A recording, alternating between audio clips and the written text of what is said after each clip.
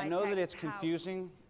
It is one thing to question the official story, and another thing entirely to make wild accusations or insinuate that I'm uh, a superhero. I never said you were a superhero. Didn't? Well, good, because that would be outlandish and uh, fantastic. Truth is,